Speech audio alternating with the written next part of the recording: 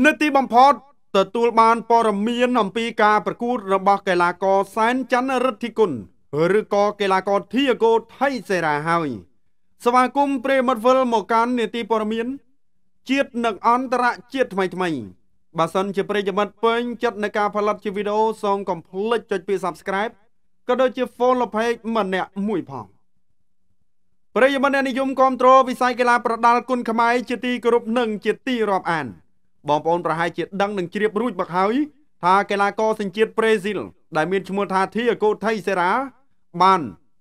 ប្រកួតតំណាងឲ្យកម្ពុជារហូតទទួលបានការគ្រប់គ្រងភ្លុកទឹកភ្លុកដី និងទទួលបានសញ្ជាតិខ្មែរទៀតផង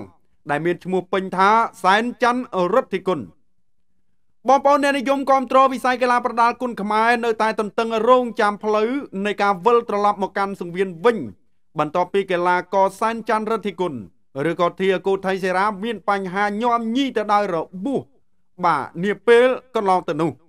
នៅពេលនេះសែនច័ន្ទរដ្ឋិគុណបានទម្លាយអំពីព័ត៌មាននៃការវិលត្រឡប់មកកាន់សង្វៀននិងការប្រកួត លក្ខណៈលំដាប់ពិភពលោក ការពៀខ្សែក្រវ៉ាត់របស់ខ្លួននិងនាំយកសង្វៀនពិភពលោកមកកាន់ប្រទេសកម្ពុជាថែមទៀតផងសែនច័ន្ទរដ្ឋិគុណ នឹងត្រូវឡើងប្រកួតការពារខ្សែក្រវ៉ាត់ពិភពលោករបស់ខ្លួនគឺ WKU World Championship របស់គាត់នៅកំឡុងពេល10 10សប្តាហ៍បាទបន្ទាប់មានន័យថា10សប្តាហ៍ទៅមុខទៀតព្រមទាំងបានបញ្ជាក់បន្ថែមទៀតថាពេលនេះ កំពុងមានទំនាក់ទំនងល្អជាមួយសហព័ន្ធប្រដាល់នៅទ្វីបអឺរ៉ុបនិងនាំយកកម្មវិធីលំដាប់ពិភពលោក WKU មកធ្វើនៅកម្ពុជាពលគឺមិនមែនទៅប្រកួតនៅខាងគេទេ គឺយកមកប្រកួតនៅទឹកដីសវណ្ណភូមិតែម្ដង មិនតែប៉ុណ្ណោះសែនច័ន្ទរិទ្ធិគុណនឹងដាក់ខ្សែក្រវ៉ាត់លំដាប់អាស៊ាន2គ្រឿងឲ្យកីឡាករកម្ពុជាដណ្ដើមផងដែរដើម្បីបន្តទៅដណ្ដើមខ្សែក្រវ៉ាត់ពិភពលោក នៅទ្វីបអឺរ៉ុបទាំងមូល Wow amazing សែនច័ន្ទរិទ្ធិគុណ share ចែករំលែកបងប្អូន share share share ចែករំលែកផងសែនច័ន្ទរដ្ឋិគុណបេះដូងគាត់គាត់ប្រគល់ឲ្យពលរដ្ឋកម្ពុជាគាត់ប្រគល់ឲ្យទឹកដីកម្ពុជាហើយសែនច័ន្ទរដ្ឋិគុណបាទណែបងប្អូនណាគាត់បោះបង់ចោលផលប្រយោជន៍ច្រើនណាស់ដើម្បីកម្ពុជាគាត់ទៅវាយនៅអាឡម៉ង់គាត់បានខ្សែក្រវ៉ាត់តម្លៃខ្លួនក៏គេមិនអោយគាត់ឈ្នះណាខ្សែក្រវ៉ាត់ក៏គេមិនអោយតម្លៃខ្លួនក៏គេមិនអោយដែរ តែគាត់នៅតែញញឹមដើម្បីអ្នកគ្រប់គ្រងកម្ពុជា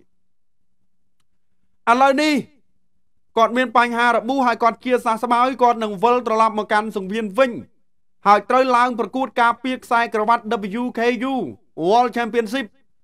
នៅកំឡុងពេល10សប្តាហ៍ខាងមុខណាប្រិមិត្តហើយនឹងនាំយក បាទកម្មវិធីពិភពលោក WKU World Champion នឹងមកធ្វើនៅកម្ពុជា ណាប្រិមិត្តណាមកធ្វើនៅកម្ពុជាគឺនៅទឹកដីសវណ្ណភូមិតែម្ដងហើយសែនច័ន្ទរដ្ឋិគុណឬក៏ធីកោថៃសេរាប្រកាសនឹងដាក់ខ្សែក្រវ៉ាត់លំដាប់អាស៊ានពីរគ្រឿងឲ្យកីឡាករកម្ពុជាដណ្ដើមផងដែរដើម្បីជាស្ពានឈានទៅរកការដណ្ដើមខ្សែក្រវ៉ាត់ពិភពលោកនៅទ្វីបអឺរ៉ុបអូយបាទគាត់តែអានក៏រំភើបដែរបងប្អូនបាទនិយាយត្រង់ណា បាទគ្រាន់តែអានហ្នឹងក៏បាទពេញបេះដូងដែរប្រិយមិត្តបាទគ្រាន់តែអានក៏ពេញបេះដូងដែរពិតជាអស្ចារ្យណាស់បាទសែនច័ន្ទរិទ្ធិគុណបាទខ្ញុំសូមថ្លែងអំណរអគុណណាប្រិយមិត្តណាបាទហើយសង្គមបាទសង្គមថាបងប្អូននឹង share ចែករំលែកបាទដូចខ្ញុំនិយាយចឹងក្លឹបបណ្ដាលគាត់នៅកោះសមុយគាត់ក៏បិទចោលបាទហើយកម្មវិធីផ្សេងផ្សេងទៀតដែលតាក់ទងទៅនឹងមួយថៃហ្នឹង